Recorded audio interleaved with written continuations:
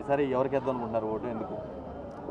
మీరు అడిగే ప్రశ్నలో మీకు నా కండువ చూస్తేనే జవాబు దొరుకుతుందని నేను అనుకుంటున్నా. ఓకే. ఇప్పుడు సిచ్యువేషన్ మీరు ఓటు ఎవరికి ఇస్తారనేది అడిగేది కాదు. కొంతమంది వ్యక్తులు హైదరాబాద్లో అల్లకల్లం చేద్దామనే మూమెంట్లో ఉన్నారు. హైదరాబాద్ ఇంత డెవలప్ అయ్యి అభివృద్ధి అవుతుంటే ప్రశాంతంగా ఉన్న వాతావరణాన్ని చెడగొడదామని చూస్తున్నారు. వాళ్ళందరికీ సమాధానం మీ మీ ఛానల్ ద్వారా నేను ఒకటే చెప్పదలుచుకున్నాను. మనకు హైదరాబాద్లో శాంతి కావాలి పీస్ కావాలి. భవిష్యత్ తరాలకు మనం అందించేది కేవలం విద్య ఈ శాంతి ఉంటేనే వ్యాపార అభివృద్ధులు కూడా జరుగుతాయి. హైదరాబాద్ మంచి డెవలప్మెంట్ అవుతుంది. ప్రపంచ స్థాయిలో హైదరాబాద్కున్న పేరుని నిలబెడదామా చెడగొడదామా?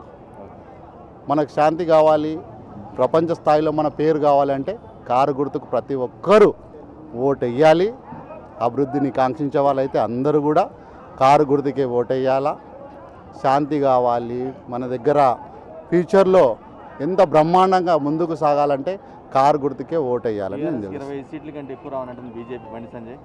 బండి సంజయ్. మ్మ్. ఆయన మాట్లాడడానికి ఒక్కటి కూడా అర్థం లేదు. ఆయన మీరు చూస్తున్నారు అంత పెద్ద నాయకుడు. అబద్ధాలు చెప్పి కాలం గడుపుకోవడం తప్ప ఒక్కటి కూడా ఆయన నోటి ఎంబడి నిజాలు వస్తాయేమని ఎదురు చూస్తున్నాం ఇన్ని రోజులుగా. గత వారం రోజులుగా చూస్తున్నాం అన్ని అబద్ధాలతోటి ప్రజలు ప్రజలు అంత పిచ్చోళ్ళు అనుకుంటున్నారు కానీ ప్రజలు తెలివైన వాళ్ళు ఒకటో తారీఖు సమాధానం కరెక్ట్గా చెప్తారు. ఆయన్నే ఆరోగ్యశ్రీ ఇస్తున్నాడంట. ఆయననే రైతు బంధు ఇస్తున్నాడు ఆయన్నే మిషన్ భగీరథ చేస్తున్నాడంట. ఒక ఛానల్లో చూసినాను ఆయన అడుగుతుంటే విలేకరు సాటి విలేకరు అడుగుతుంటే ఆయన దగ్గర మాటల్లో జవాబు చెప్పడానికి ఎక్కడి నుంచి ఇస్తారని అడుగుతుంటే సమాధానం లేదు. ఏ గ్రేటర్ హైదరాబాద్ ఒక్కటి భారతదేశంలో గ్రేటర్ హైదరాబాద్ ఒక్కటే నా ప్రజలు ఉన్నది మొత్తం దేశంలో లేరా? మాకు ఇరవై ఐదు వేలు మేము ఏదో వరదలు వచ్చినాయి కదా. వరదలు వచ్చి ప్రజలు కష్టాల్లో ఉన్నారు. అంతకుముందు కరోనా వచ్చి కష్టాల్లో ఉన్నారు కదా ఆదుకుందాం మనం ప్రజలను ఆదుకుందామనే ఉద్దేశంతో మాకు గౌరవ ముఖ్యమంత్రి కేసీఆర్ గారు ప్రతి వ్యక్తికి పదివేలు ప్రతి కుటుంబానికి పదివేలు ఇస్తుంటే వాళ్ళ నోట్లో మట్టి కొట్టి వాడు ఆనందంగా వెకిలిన చేష్టలు వెకిలి నవ్వులు నవ్వుతున్నాడు. పదివేలు మేము ఇస్తుంటే వెకిలి నవ్వులు నవ్వి ఆ పేద మాలని మేము బడుగు బలహీన వర్గాల ప్రజలం. మీ ఎక్కువ స్లమ్లో ఏరియాలో ఉండవాది ఎవరు? బడుగు బలహీన వర్గాలే. నాలాల పక్కకు నది పక్కకు మూసి నది కాలువ పక్కకు ఉన్నదంతా మా చోటి సోదరులు బంధువులు. వాళ్ళ నోట్లో మట్టి కొట్టి వాళ్ళ వాళ్ళకి కేవలం పదివేలు ఇచ్చినా కానీ చాలా తక్కువే. వాళ్ళు ఎంతో ఇబ్బందులో ఉన్నారు.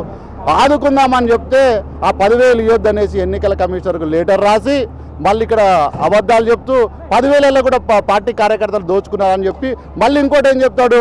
మేము వస్తే ఇరవై ఐదు వేలు ఇస్తామంటాడు. మరి ఏమైనా ఒప్పందం కూర్చుకున్నారా బీజేపీ కార్యకర్తలతోటి? ఇరవై ఐదు వేలలో మీ కార్యకర్తలకు ఎంత ఇస్తారు కార్యకర్తలు అంటే ఖబర్దార్ కార్యకర్తలు కేవలం సైనికులే. కేవలం మేము ఓ అభివృద్ధిని కాకించే వాళ్ళు కార్యకర్తలే. ఆ పార్టీలు ఉన్నా ఈ పార్టీలు ఉన్నా కార్యకర్తలే. ప- మేము పని చేస్తేనే వాళ్ళు పల్లెకి మోస్తారు. మా- మా కార్యకర్తలు టీఆర్ఎస్ కార్యకర్తలు కరెక్ట్ ఉన్నారు కాబట్టి ప్రతి వ్యక్తికి చేరింది. వాడు ఆయన చెప్పిన దానికి అనవసరంగా ఇబ్బందులు పడ్డ ప్రజలందరూ కూడా పదివేలు రాకుండా పోయింది వాళ్ళ నోట్లో మట్టి కొట్టిండు వెకిలి చేష్టలు చేస్తుండు ఆనందమైనటువంటి నవ్వులు నవ్వుతున్నాడు. కానీ ఖబర్దార్ ప్రజలు గట్టిగా సమాధానం చెప్తారు.